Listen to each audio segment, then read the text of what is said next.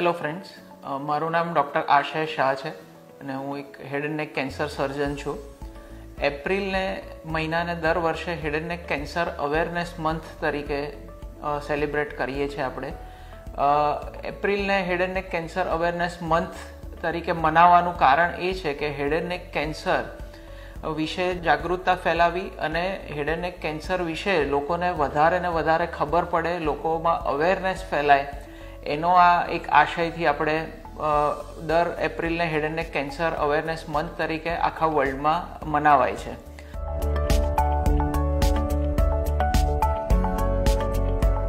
હવે જ્યારે આપણે હેડ એન્ડ નેક કેન્સરની વાત કરીએ, ત્યારે ભારતમાં હેડ એન્ડ નેક કેન્સર એ સૌથી કોમન પ્રકારનું કેન્સર છે.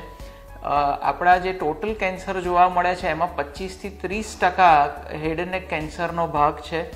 એટલે અને જે રીતે ભારતમાં હેડ કેન્સર વધી રહ્યું છે, એ રીતે અત્યારે બે હજાર વીસમાં જે આંકડા હતા કે લગભગ આઠ કે નવ લાખ હેડ કેન્સરના રિપોર્ટેડ કેસીસ જોવા મળતા હતા અને જે રીતના હવે આંકડા આવી રહ્યા છે કે બે હજાર ચાલીસ સુધીમાં આ બાવીસ લાખ સુધી પહોંચશે.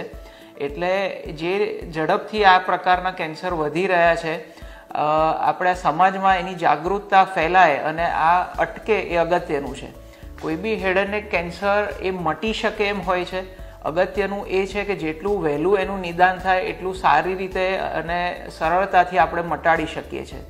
હેડ એન્ડ નેક કેન્સરની વાત કરીએ તો હેડ એન્ડ નેક કેન્સરમાં મોઢાનું કેન્સર એટલે કે તાળવાનું, હોઠનું, જીભના ભાગનું, ગાલનું કેન્સર, પછી ગળામાં જે છે ઓરોફેરિંગ્સ એટલે કાકડાના ભાગનું, જીભની પાછળના ભાગનું, સ્વર પેટીનું કેન્સર છે થાઇરોઇડ ગ્રંથિ છે, પછી જે લાળ ગ્રંથિ, એટલે પેરોટિડ કે સબમેન્ડિબ્યુલર ગ્લેન્ડ કહેવાય કે સાઇનસ.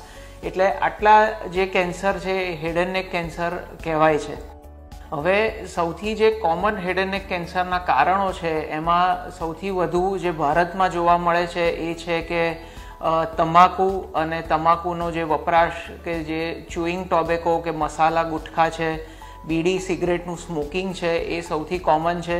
બીજું દારૂના સેવનથી પણ આ થઈ શકે છે અને એ સિવાયના બીજા કારણોમાં કોઈ દાંત વાગતો હોય, કોઈ ચોખ્ઠું આપણને મોઢામાં વાગતું હોય, કે મોઢાનું હાઇજીન કે ચોખ્ખાઈ બરાબર ના હોય, કે બહુ જ રેરલી એક એચપીવી વાયરસથી પણ આ પ્રકારના કેન્સર જોવા મળતા હોય છે.